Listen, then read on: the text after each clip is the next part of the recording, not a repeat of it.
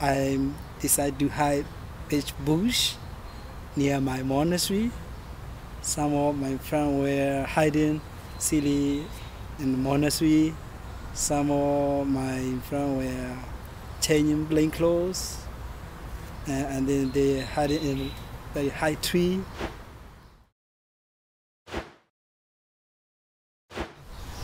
My name is Agga. I come from Burma. Many problems for many human rights abuse throughout Burma. No justice, no peace. Military regime. When they were raided our monastery, nobody can see what we have been. There are no witness what we have been. Nobody can see whether we are dying or not.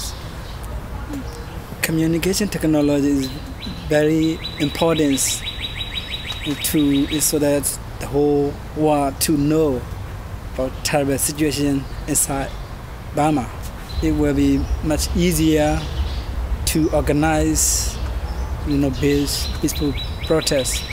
It will be much easier to communicate each other or democracy movement. Journalists who are working, they cannot, you know, take video or camera freely. They have to take or in a sneaky way. Everything is to speak out my own view, whatever I want. I can talk my own view anywhere. This, like I feel like freedom. Tune in next week where we'll be talking to Celia, a group based in Brooklyn, New York, doing conflict resolution through new media.